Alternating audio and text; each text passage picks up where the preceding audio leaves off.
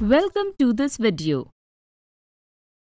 In the previous video, we understood examples of probability based on cards. Today we will see another interesting example based on cards.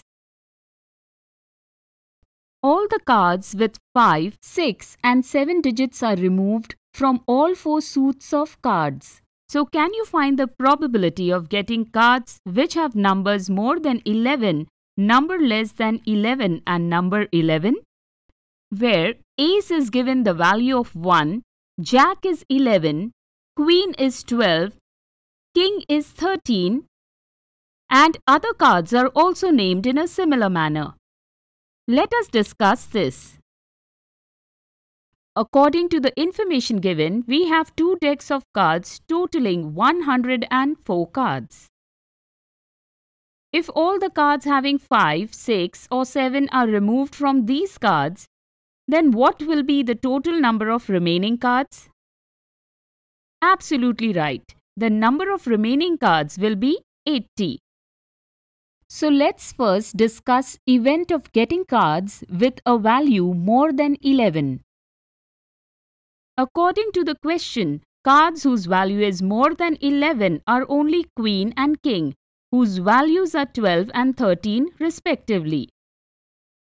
So, can you tell me how many queens and kings are there among these cards? Right answer. From the remaining cards left, we can tell that we have a total of 16 cards of queen and king. That is, with the help of probability formula, we can say that the number of outcomes favorable to the event is 16 and the number of all possible outcomes is 80. On solving this, the probability of getting cards whose value is more than 11 is 0.2.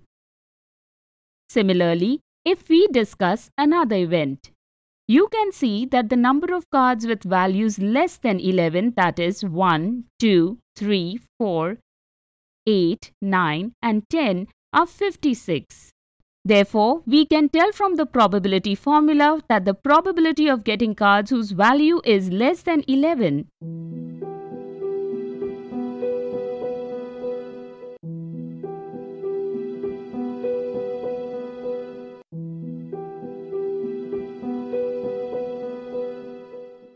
is 0.7. So, can you tell without counting the deck of cards what will be the probability of getting a card with 11?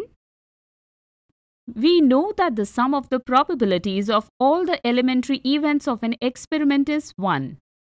Therefore, with the help of this, we can tell that the probability of getting cards with value 11